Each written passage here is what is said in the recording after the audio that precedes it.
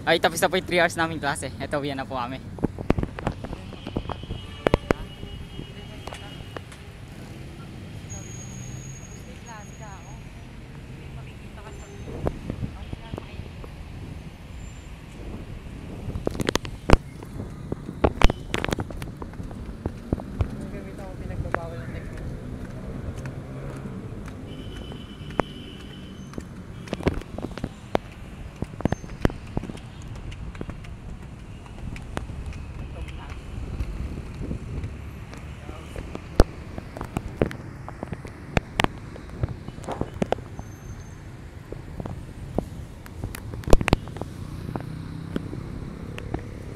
Okay, yan po. Kasabay ko si Tom Canyares.